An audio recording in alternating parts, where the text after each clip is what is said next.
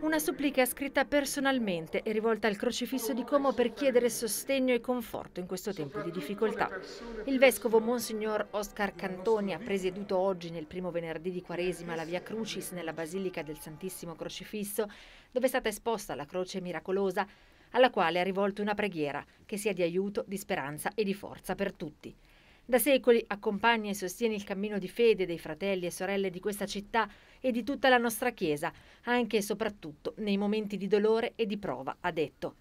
Il riferimento è all'emergenza sanitaria, Conosci la nostra debolezza e continua ad esserci vicino in questi momenti di trepidazione per la presenza devastante del coronavirus che ha sorpreso e sconvolto le nostre vite, le nostre abitudini, le nostre attività quotidiane, ha aggiunto il Vescovo, che ha chiesto sostegno per quanti sono impegnati nell'affrontare questo periodo di emergenza e si prodigano generosamente al servizio dei malati e delle loro famiglie.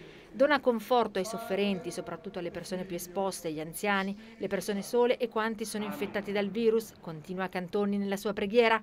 Sia vincente la generosità di coloro che sacrificano il loro tempo e le loro energie per sostenere quanti hanno bisogno di cure.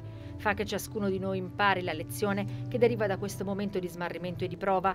Oggi ci scopriamo feriti, fragili e deboli, incapaci di trovare salvezza in noi stessi o nelle sole risorse della scienza e della tecnica. Aiutaci a tornare a te con fiducia. Ha concluso. Domenica, prima di Quaresima, la messa in diretta sui tv delle ore 10 sarà trasmessa ancora dalla chiesa di San Cassiano a Breccia e sarà presieduta, come le prossime, dal Vescovo.